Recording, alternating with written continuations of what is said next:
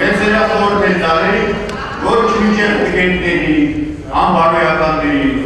սակավոյիչների, սատուիշների հետ, քանի որ դրանք այդ գործը Հոկտեմբերի 21-ին ազգային ժողովում հանրապետական խմբակցության ղեկավար Վահրամ Բաղդասարյանն այսպես խոսեց մարդու իրավունքների պաշտպանի զեկույցի քննարկման ժամանակ։ Նա իր ելույթով պատասխանում էր նախորդային падգամավորներ Նիկոլ Փաշինյանի եւ Զարուհի Փոստանջյանի, Սերժ Սարգսյանի հասցեին հնչեցրած կոշտ ելույթներին որ արևմուտքից օվկիանոս սամբան գրող երկրի դավականի գումարներ են գործում այստեղ եւ բոլոր գործիքների գոյատորում բաուլիների տանկից պատերին է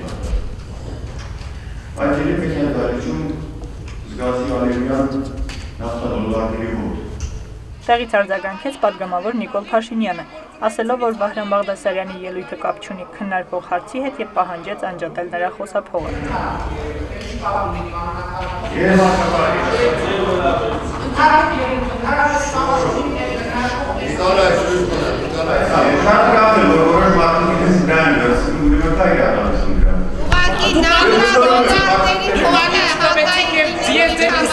ղեկավարի անունն եմ տալի իր գործունեությունից Ալիևյան նավթատորների հոտել։ Պարոն նախագահ, դուք ունեք իրավունք, որ նման դալի։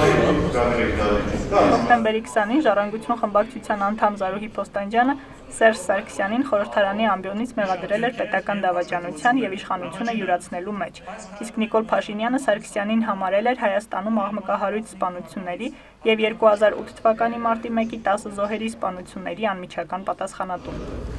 Ինքներդ ձեզ պետական հայրենիքն եւ ասեք, ինչ է կարել այս երկրի համար։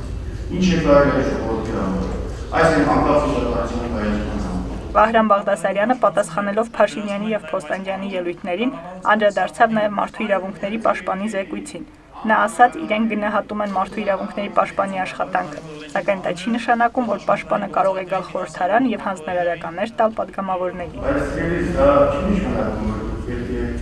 այդ դարիքում հանձնարարականներ տալ падգամավորներին։ Դա անսպիրիչ է, իհարկե, ասում եմ, այդտեղ բան ամբիցիաներ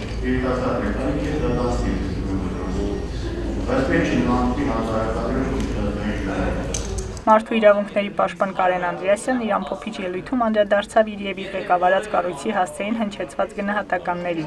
ասելով, որ անիմաստ են անձնական հարցակումների տեսքով պաշտպանի ինստիտուտը վնասելու փորձերը։ Արփի Մախսուդյան, Գևորգ Խարոյան, Civilnet